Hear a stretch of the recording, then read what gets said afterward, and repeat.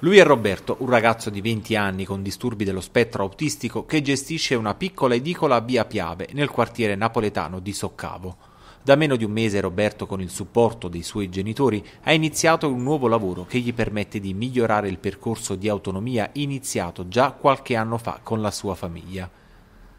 Al suo fianco ci sono sempre Giancarlo e Titti, genitori coraggiosi che hanno voluto intraprendere fortemente questa nuova avventura per aiutare Roberto nel suo percorso di crescita è una realtà che gli permette di farsi conoscere e di ampliare quelli che sono gli obiettivi, cioè la relazione, il poter gestire gli euro e quindi fare acquisti, avere una sua piccola realtà. Non ultimo il fatto di avere uno scopo al mattino, quindi un posto di lavoro che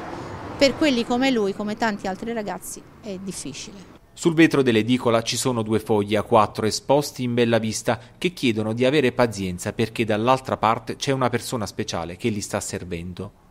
mentre sull'altro foglio è riportato il dialogo di routine che un cliente deve instaurare con lui per agevolargli il lavoro, riuscendo a interagire con Roberto nonostante l'autismo. Lui ha la, la, facoltà e la capacità di scegliere e quindi gli è, gli è stato proposto. Si, eh, proprio per questo motivo lui viene volentieri ogni mattino, eh, è ligio al dovere, gli piace e, e, quindi ci sono sempre più persone che hanno accolto quello che è il nostro invito, cioè quello di darci una mano nella, nel,